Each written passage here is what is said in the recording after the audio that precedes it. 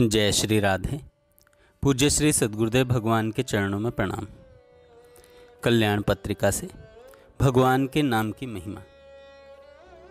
कुछ लोग यह शंका करते हैं कि भगवान का नाम बार बार लेने से क्या लाभ है? बात यह है कि रात दिन के 24 घंटों में हमारा जो कुछ है, सब भगवान की कृपा से है। भगवान के बिना हमारा कुछ भी नहीं है। गोस्वामी तुलसीदास जी ने विनय पत्रिका में कहा है कि प्रभु तुम बहुत अनुग्रह कीनो। साधन धाम विबुध दुर्लभ तन, मोहि कृपा कर दीन हो कोटिन मुख कही जात न प्रभु के एक एक उपकार। तदपि नाथ कछु और मांगी हूँ दीजे परम उदार। अर्थात तुलसीदास जी कहते हैं, हे प्रभु, आपने इस दास पर बड़ा अनुग्रह किया। जो इसे देवताओं को भी दुर्लभ, यह मनुष्य देह दिया।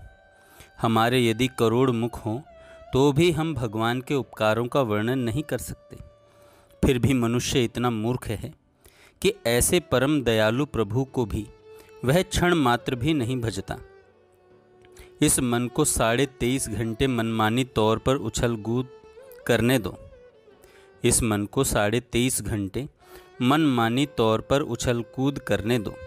कम से कम आधा घंटे तो इसे बाँध कर रखो। जिस समय तुम भगवान के सहस्त्र नाम का पाठ करोगे। कम से कम उस समय तो तुम्हें और और बातों का ध्यान नहीं आएगा। भगवान का ही ध्यान आएगा। तेज बुखार की हालत में जब तक हमारे सिर में बर्फ़ की ठंडी पट्टी बंधी रहेगी, तब तक हमें सुख और शांति मिलती रहेगी। ज्यों ही हमने उस पर बर्फ़ रखना छोड़ा कि फिर दाह शुरू हो जाएगा। इसी प्रकार जितने क्षणों तक हम भगवान के मंगल में नाम की आवृत्ति करते रहेंगे, तब तक हमें अपार शांति और आनंद मिलता रहेगा और हमारा मन पाप और दोषों से बचा रहेगा।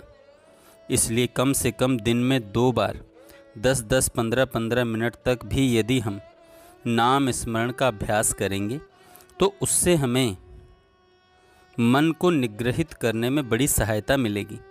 मैं जिस समय विष्णु सहस्त्र नाम का पाठ करता हूँ, उस समय मेरी वृत्तियाँ सब ओर से खिंचकर भगवान में लग जाती हैं।